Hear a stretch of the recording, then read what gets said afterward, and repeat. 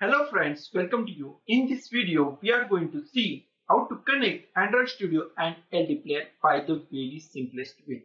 So let's go to our video.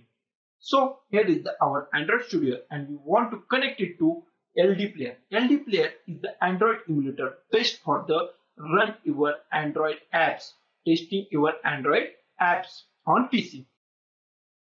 So we just go to the Google and first I see how to install LD Player.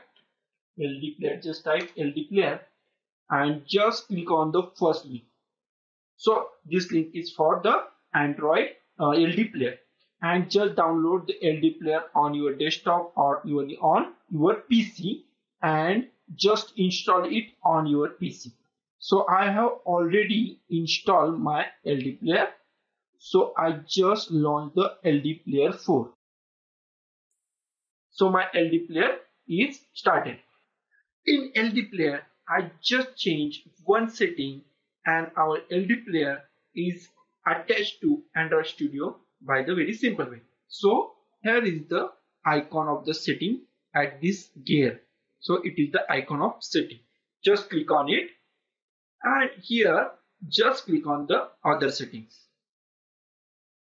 And here just change get at the rate adb debug and close connection to open connection and save it.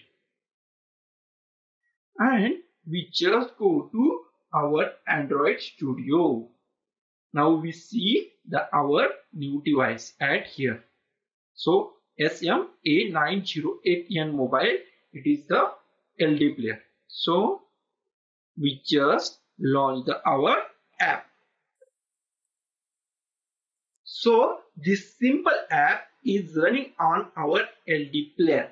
So guys, thank you for watching this video and don't forget to like, share, comment on this video and don't forget to subscribe the channel. Thank you guys.